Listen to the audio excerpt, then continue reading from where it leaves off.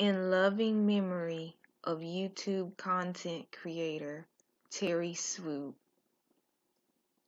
Terry Swoope started his YouTube channel on July 29, 2010. He has produced over 485 videos of content that consisted of him giving recognition to celebs who are known as being underrated and underappreciated.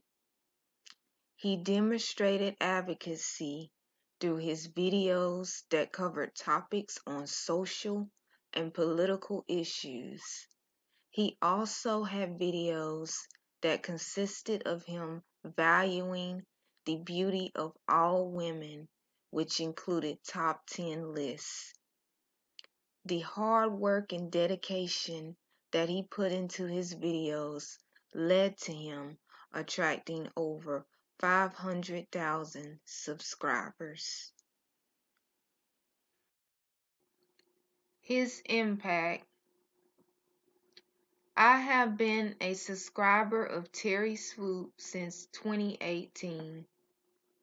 I enjoyed listening to his viewpoints on topics dealing with social issues in the black community. His videos would leave me feeling uplifted. I love that he was an independent thinker who did not fall for the popular opinions of others. He was the kind of person who was not afraid to speak his mind he was also open to hearing other people's opinions in the comments. And even if someone disagreed with him, he still showed respect and appreciation for their feedback. Seven months ago, I requested a video on an underrated singer from the 80s named Curtis Hairston. Terry Swoope replied to my comment to inform me that he is in the process of working on the video and he would have it posted the next day. The next day came and the video was posted.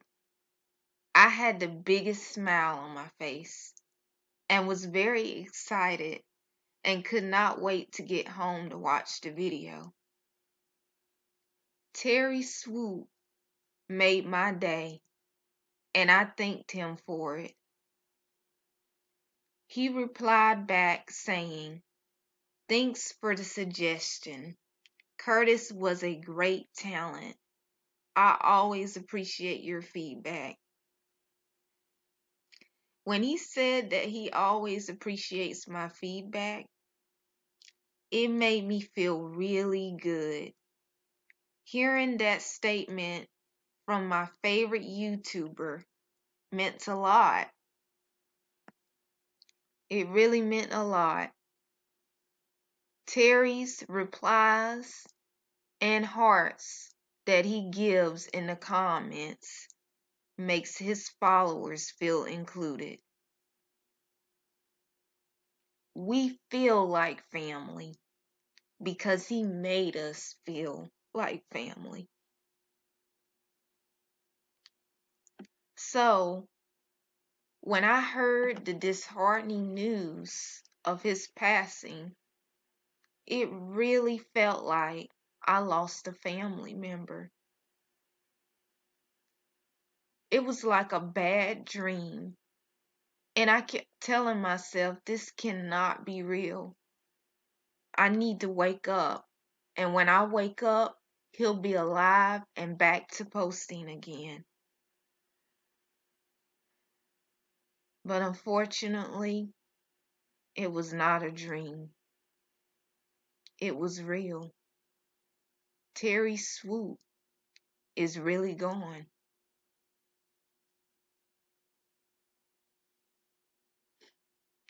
Terry was so full of life and energy. It's hard to imagine YouTube without him. He was the best thing that ever happened to YouTube.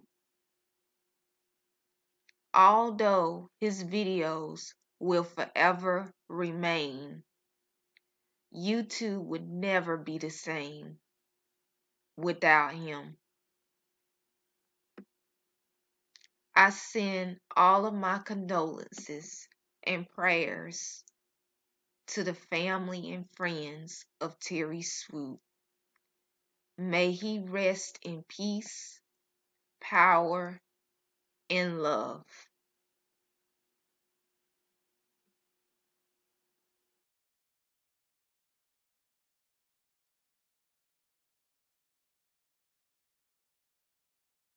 Rare to see positive songs become hit songs.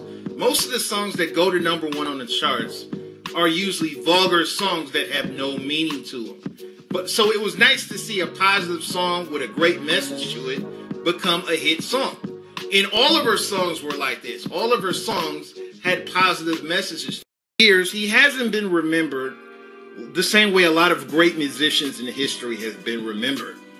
He's not remembered in the same way that James Brown was remembered. He's not remembered in the same way that Marvin Gaye was remembered. He's not remembered in the same way that Michael Jackson was remembered. His career has gone under the radar, even though he's one of the greatest musicians of all time. He paved the way for a lot of rock and roll singers and R&B singers in history. And he's not in the Rock and Roll Hall of Fame. When a lot of these other musicians, like James Brown, like Michael Jackson, are in the Rock and Roll Hall of Fame, I just think he should be honored more and he should be remembered more based on his contributions to the history of music. Remember their music as fun and they made music that brought people together. They made music that made people have a good time. And I don't think they get the credit that they deserve as writers and producers. They had a long, successful career when it comes to writing and producing for other artists. And I think they should be in the Songwriters Hall of Fame because they wrote a lot of great songs. I don't got time in this video to go over all the songs that they wrote for other artists, but they had a lot of success as songwriters. And I don't think songwriters get the credit that they deserve in music. Because when people listen to music, they only listen to the people singing the songs, and they don't realize there's a lot of great songwriters behind a lot of these great songs. An all white school, he grew up in an all white family, and he never understood why his hair was kinky. Why wasn't his hair like everybody else's? And just like most kids who are different, he was teased and made fun of. He experienced a lot of racism growing up in Ireland. But the people of Ireland grew to love him as he became a rock star. He put Ireland on the map. Thin Lizzy was the first rock band from Ireland to have mainstream international success. And being the performer that he was, it's kind of hard to have a career and perform on stage every night suffering from type 1 diabetes. And this caused him to have kidney problems. And this is one of the things that made him stop performing and stop recording music. On January 18th, 1996, Curtis passed away. He died of kidney failure at the age of 34. He was only 34 years old. And he was just preparing to record another album and get back into the music industry. He was feeling good, but eventually his illnesses caught up with him and he passed away. I was always a huge fan of his music. I thought this man was very talented. I think he's one of the most underrated R&B singers in history. And I don't think he gets enough credit that he deserves. And I was glad to see him bringing humor to rap music. I think that was needed back then. I think Shock G is underrated because he had his own style. Nobody did it the way he did it. I think he should get more acclaim. He should get more aberration than what he gets.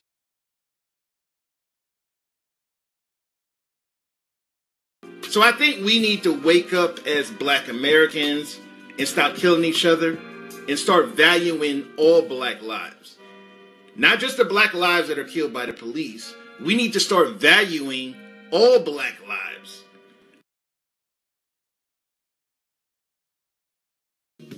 So a lot of these younger pro blacks, they need to understand the difference between cultural appropriation and cultural appreciation. Cultural appreciation is paying tribute to that music. It's celebrating another culture's music. And there's nothing wrong with a person of a differing race celebrating black music. So I just want to encourage people to be independent thinkers. Stop being afraid to speak against cancel culture. Stop being afraid to speak against the woke Twitter mob. Hatred needs to stop. We need to come together as a people, as a human race, a people, and be united as one and stop the hatred and stop the violence nationwide, whether it's in Africa, China, Europe, whatever. We need to stop the madness and come together as a people. I will be reciting a poem called The Dash by Linda Ellis. I read of a man who stood to speak at the funeral of a friend. He referred to the dates on the tombstone from the beginning to the end. He noted that first came the date of birth and spoke the following day with tears. But he said what mattered most of all was the dash between those years. For that dash represents all the time that they spent alive on earth. And now, only those who love them know what that little line is worth. For it matters not how much we own the cars, the house, the cash.